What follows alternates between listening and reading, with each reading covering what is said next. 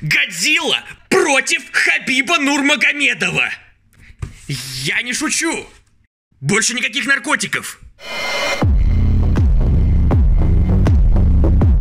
Почему взрослые люди, вместо того, чтобы читать э, умные книжки, смотреть телевизор, в конце концов, рассматривают картинки?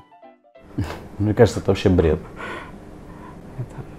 Возможно, вы не в курсе, но российская индустрия комиксов сейчас как никогда бьет ключом. Возможно, даже фонтаном хреначит. И фанаты книжек с картинками в этот фонтан с радостью ныряют. На русском языке уже не только издаются лучшие комиксы из США, Европы и Азии. За месяц выходит столько новинок от отечественных авторов, что их не то что все купить, их даже все прочитать уже потихоньку становится нереально. С другой стороны, читать все и не нужно, ведь сформировалось достаточно четкое деление по сериям, жанрам, поджанрам, целевым аудиториям и все такое. Супергероика, говорящие антропоморфные животные, драма, комедия, инди-трэш, реальный трэш. Одновременно со, скажем так, мейнстримными русскими комиксами выходят и авторские комиксы, где у создателей нет ни рамок, ни цензуры, и они выпускают в печатном виде то, что некоторые, возможно, побоялись бы даже в интернете постить. В общем, Годзилла против Хабиба Нурмагомедова. Комикс от художников из Екатеринбурга был выпущен еще в марте, но эй, когда еще о нем лучше рассказать, если не сейчас, а? Правильнее, пожалуй, было бы назвать это не комиксом, а додзинси, потому что выпущен он неофициально, и у авторов, естественно, нет прав ни на одного из персонажей, чего они, в общем-то, не скрывают во время своего метамодернистского интервью. Почему Годзилла против Хабиба Нурмагомедова? Нам нравятся эти персонажи. Но тем не менее, Годзилла это не ваш персонаж. Почему не наш? А, ну, Хабиб Нурмагомедов это реальный человек, это боец ММА. да, все верно. Вы брали у него разрешение на использование его светлого образа? Э, Нет, к сожалению. Вы э, э, э, э, чем вдохновлялись? А, Мы, а, мы вдохновлялись непосредственно, непосредственно и непосредственно, а, непосредственно, непосредственно и непосредственно. А, Вот, а, вот, э, а, вот, э, вот, э, вот. И мы хотели непосредственно Ну, то есть это не для тупых. Это не для Это тупых. просто другое искусство. Давайте посмотрим. мы провели опрос на улицах Екатеринбурга, спрашивали, за что люди любят комиксы.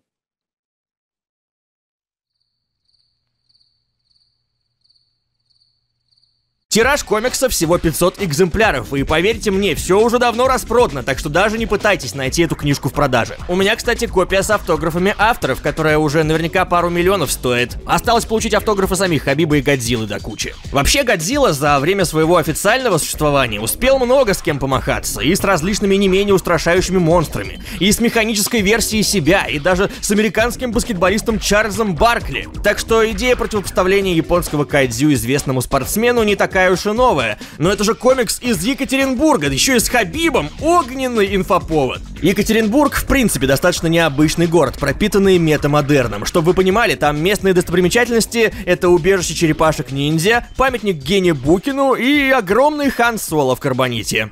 Это ведь Хан Соло? Комикс про Годзиллу и Хабиба слишком крут, чтобы оставаться в неизвестности. И раз уж в интернете его нельзя почитать, купить тоже нельзя, предлагаю вам небольшой пересказ, чтобы вы поняли, что к чему.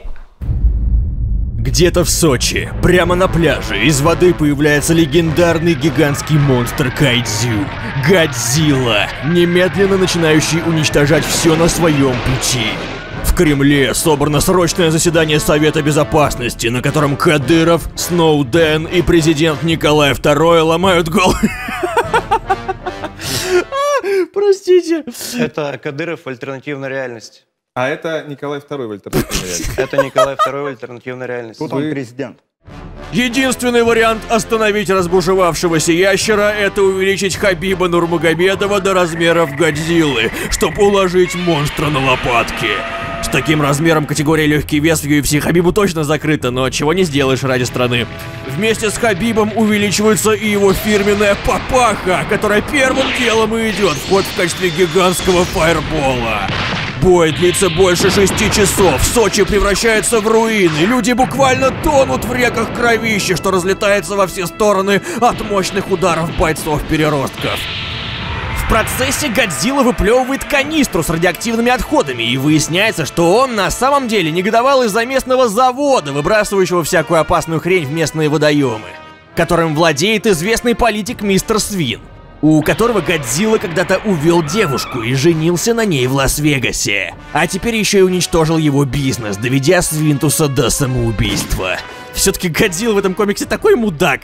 На этом, в общем-то, и все. Годзилла уходит в закат, а Хабиб возвращается к нормальным размерам и получает звание героя. Комикс оставляет после себя приятное послевкусие. Вы наверняка с ним знакомы. Оно называется «И что это я, блин, сейчас только что прочитал?»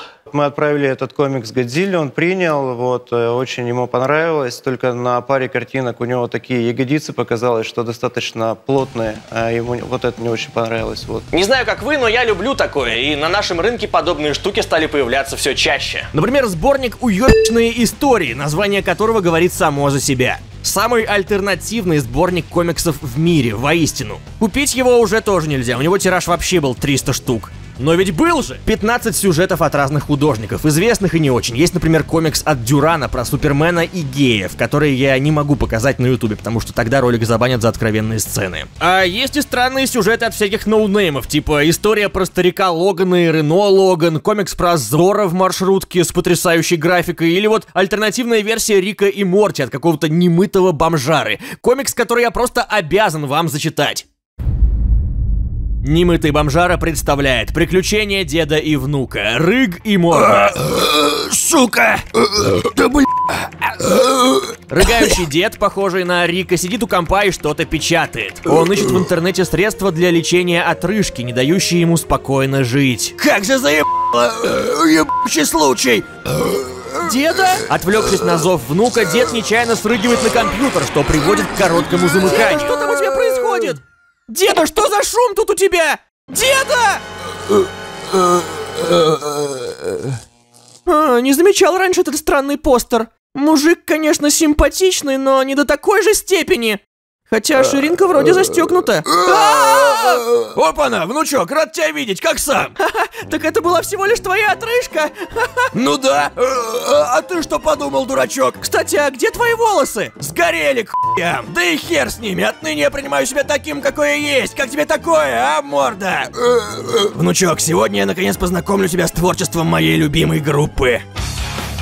Как же э, охуенно! Да, я обрыган и горжусь этим! Ты такой крутой! Ладно, раскрою секрет. Немытый бомжара — это, естественно, я. Прозвучало странно, ну, то есть я нарисовал этот идиотский комикс за один вечер и отправил его инкогнито от имени немытого бомжары, чтобы чисто поугарать и показать вам, что комиксы может рисовать и выпускать каждый. Так что надеюсь, это кого-нибудь вдохновит.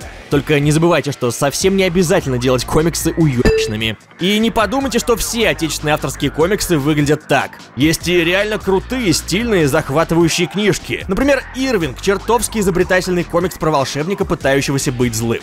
Или Остров маньяков, пропитанной атмосферой кровавых фильмов ужасов 80-х. А большой древнерусский борщ это вообще как Астерикс или Флинстоуны, но про славянские племена. Срочно нужна экранизация. По сути, сейчас нарисовать и издать комикс под силу любому, у кого есть должное желание. Точно так же, как и снять фильм или записать собственный музыкальный альбом. Все это в теории можно сделать, пользуясь одним лишь смартфоном. А уж из ноутбука так вообще можно целую портативную студию сделать. Я люблю эстетику старых компов, мониторов и прочих прибамбасов, но надо признать, что сложностей с ними возникало довольно много, да и весили они ого-го. Не часто получается осознать, что весь функционал некогда габаритных махин влезает в любой современный легкий ноутбук. Это ведь фантастика наяву, если задуматься, особенно учитывая, насколько компы стали доступны. Сейчас за сдачу старого ноутбука в MVideo можно получить скидку 20% на новый. Так что не торопитесь выбрасывать старую технику, нет, нет, нет, нет, стой, что ты делаешь? Microsoft запустили акцию. Сдаешь свой старый потрепанный или вообще не рабочий ноут, и вуаля, у тебя в кармане скидос на покупку крутых современных ноутов от HP. Если вы уже шаритесь по своим шкафам в поисках старых поломанных ноутбуков, то ссылка с подробностями акции в описании. Непосредственно.